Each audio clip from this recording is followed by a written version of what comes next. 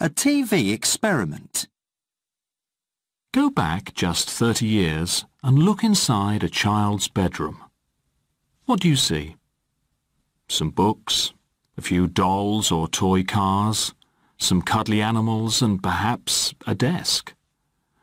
Look inside the bedroom of today's kids and it's a 21st century space station. Do they have everything and appreciate nothing? A TV channel tried an experiment. The TV company, Channel 4, transported a typical 21st century family back in time to the 1970s. The Gregory family live in a large house in Milton Keynes.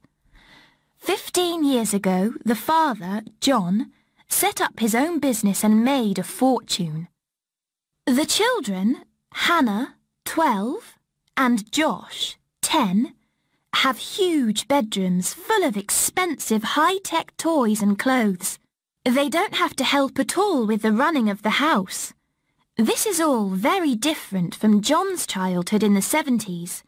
He grew up in a small council house in Leeds, one of five children brought up by their father after his mother died.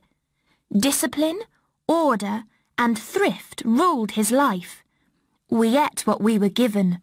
We walked to school and we had to share all the household chores. We had to do what we were told. Dad was very strict. Back to the 1970s.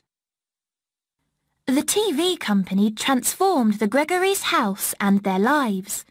For two weeks the family had to go back to the 70s and live John's childhood. The house was stripped of all modern gadgets and equipment. Hannah and Josh had to wash and iron their own clothes do all the washing up, and help dig the vegetable garden. The family car was exchanged for a battered, old VW van, and they had to live on just £39 a week. At first, there were tears and furious rows as the children tried to adjust. Hannah couldn't believe that she wasn't allowed to buy hair mousse and was horrified to find her wardrobe emptied, leaving her with just jeans, two tops and a Sunday best. Josh had to give up watching his widescreen television and take up the piano. They didn't have to walk to school, but were filled with embarrassment when their dad drove them to the school in their new van. What the family learned. However, gradually Hannah and Josh learnt to appreciate small treats. They enjoyed eating the vegetables they'd dug up from the garden. They made some extra money by selling cookies they'd baked to their neighbours. They started to save rather than spend and understand the value of a £90 pair of trainers. What should today's parents do? It's difficult to get things right as a parent. John says, we shouldn't give in to our kids' demands.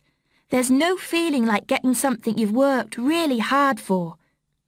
Hannah now has £30 in the bank, all earned by doing extra jobs round the house.